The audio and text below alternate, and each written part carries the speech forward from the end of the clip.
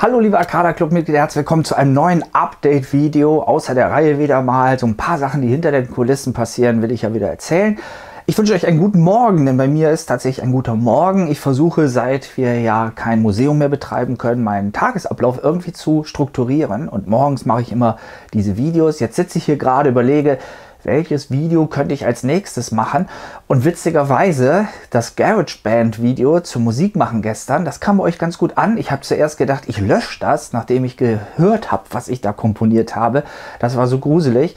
Aber irgendwie habe ich gesagt, komm, lass es stehen. Es ist irgendwo auch witzig, diesen Mist da zu kreieren.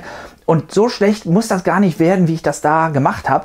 Und ich glaube, wir machen noch einen zweiten Teil. Wir beschäftigen uns tatsächlich nochmal mit diesem Programm, weil es gibt da wirklich so richtig tolle Sachen, mit denen man auch einfacher die Musik erstellen kann.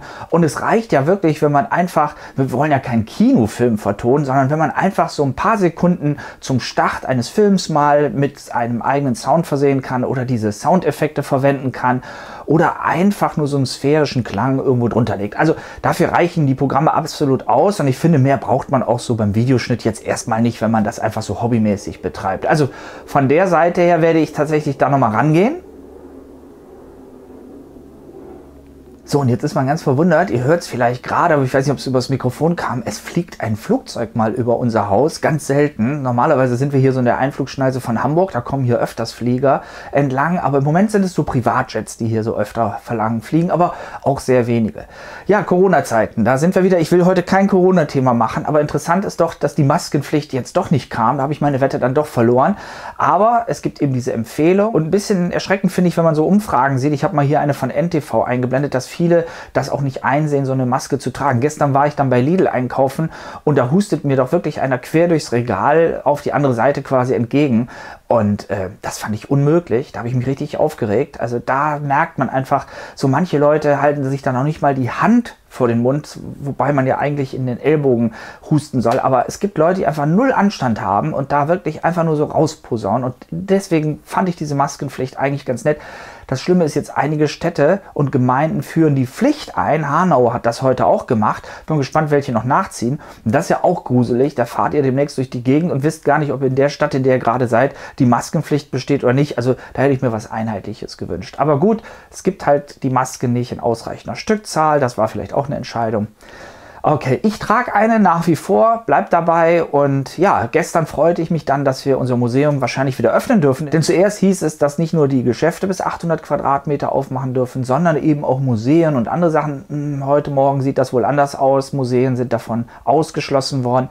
Das heißt also, weiterhin habe ich kein Geschäft, sitze hier ja, und mache den Arcada Club dann weiter. Das ist das Einzige, was mich in Anführungszeichen am Leben hält, zumindest motiviert, hier was zu machen. Man braucht ja doch so einen täglichen Ablauf. Ja, es liegen noch spannende Themen hier in meiner Schublade. GarageBand ist jetzt so aufgetaucht, weil ich wirklich gedacht habe, Mensch, warum zeige ich das nicht mal, wie ich so die kleinen Trailer-Musikstücke mache? Und jetzt gucken wir mal, was daraus wird. Aber wie gesagt, erhofft euch da keine Kursserie drauf, die aus euch Musiker macht. Dafür reicht es nicht. Ja, aber wir gucken mal vielleicht noch so ein bisschen da rein. Das kann sein, dass ich da heute noch so ein Video zu mache.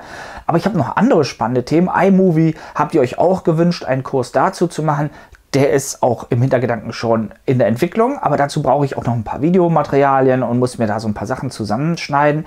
Ähm, das ist nämlich auch immer lustig, wenn man diese Videoproduktion hier macht.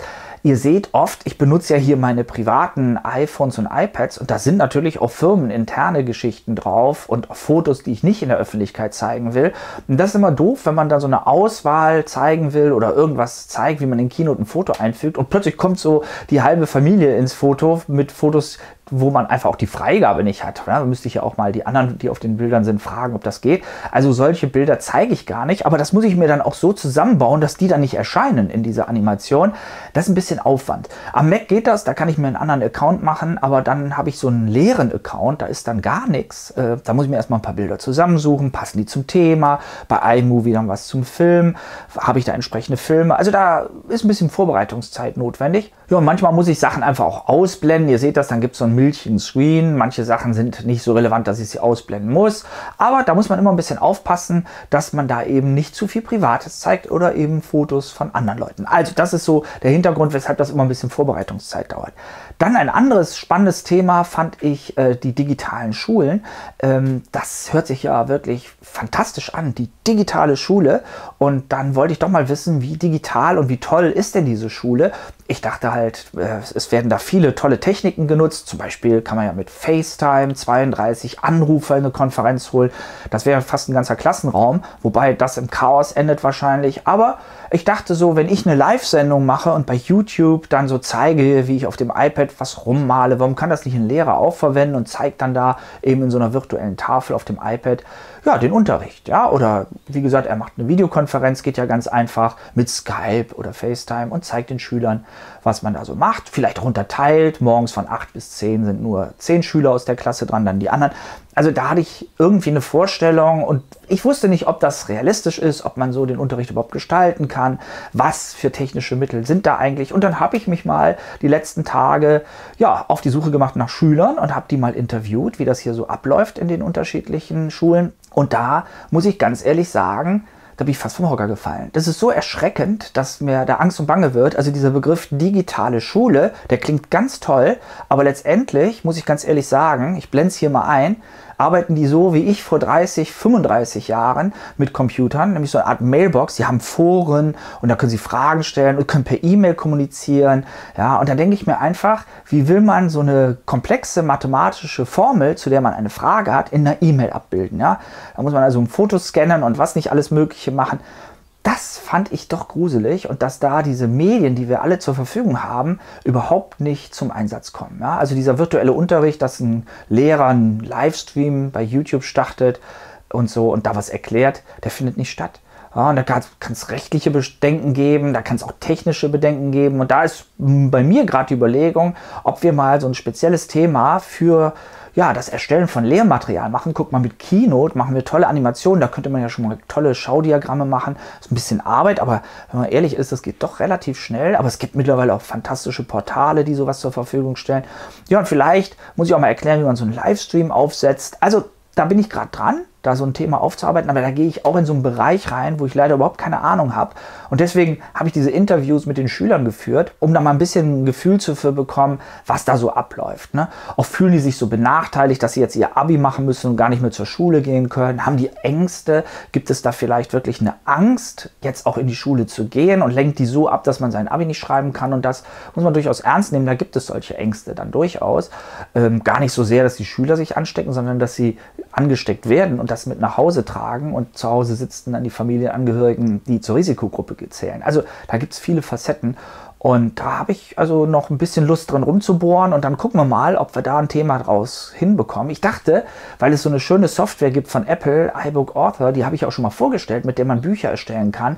Da könnte man jetzt so toll die Keynote-Präsentation einfügen, aber leider hat Apple da die Entwicklung irgendwie eingestellt. Es gibt kein aktuelles Update mehr. Die Keynote-Präsentationsfolien, die man gerade jetzt hier in unseren Kursen erstellt, die kann man da nicht einfügen. Sehr schade, weil diese Software, die ist wirklich toll und damit kann man Bücher erstellen. Dabei ist mir dann aber aufgefallen, dass man das mit Pages zum Beispiel auch machen kann. Da kann man Bücher erstellen, in denen Videos sind und andere Sachen. Vielleicht schauen wir uns auch das mal an, wie man in Pages solche Bücher erstellt. Aber das ist auch ein Riesenthema.